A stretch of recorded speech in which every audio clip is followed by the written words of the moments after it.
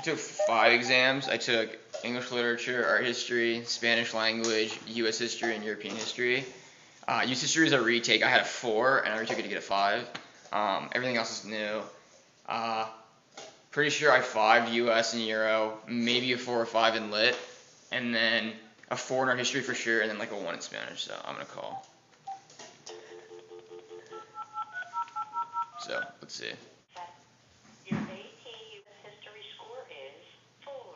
To repeat this score, press one now. No way. Otherwise, press nine. Oh no. Oh, Or what? U.S. history. It's okay. Wait. AP US history score is four.